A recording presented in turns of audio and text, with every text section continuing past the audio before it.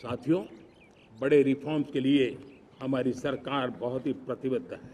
और हम इसी के द्वारा देश में प्रगति की राह को चुनना चाहते हैं। साथियों, देश में नई व्यवस्थाएँ बन रही है। देश को आगे ले जाने के लिए अनेक वित्त नीतियों को, अनेक वित्त पॉलिसीज़ को निरंतर बनाया जाए और नए सिस्टम पर देश का भरोसा भी बढ़ता रहता है, निरंतर बढ़ता रहता है। आज जो 20-25 साल का नौजवान है, जो 10 साल पहले जब 12-15 साल की उम्र का नौजवान था, उसने अपनी आँखों के सामने ये बदलाव देखा है।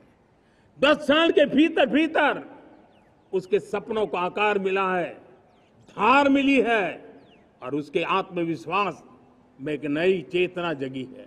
और वही देश का एक नया सामर्थ्य के रूप में उभरना है। आज विश्व भर में भारत की साख बढ़ी है। भारत के प्रति देखने का नज़रिया बदला है। आज विश्व में युवाओं के लिए संभावनाओं के द्वार खुले हैं।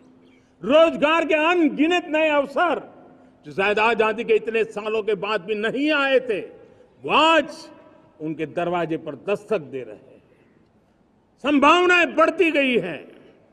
नए मौके बन रहे हैं।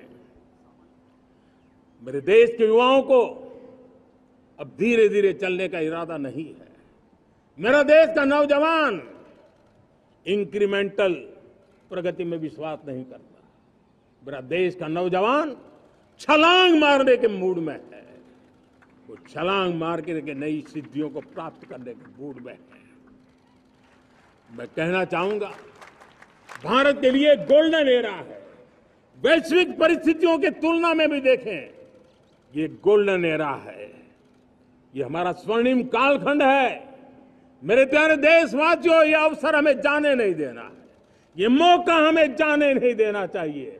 और इसी मौके को पकड़ करके अपने सपने और संकल्पों को लेकर के चल पड़ेंगे तो हम देश की स्वर्णिम भारत की जो अपेक्षा और हमें विकसित भारत का 2047 का लक्ष्य हम पूरा करके रहेंगे।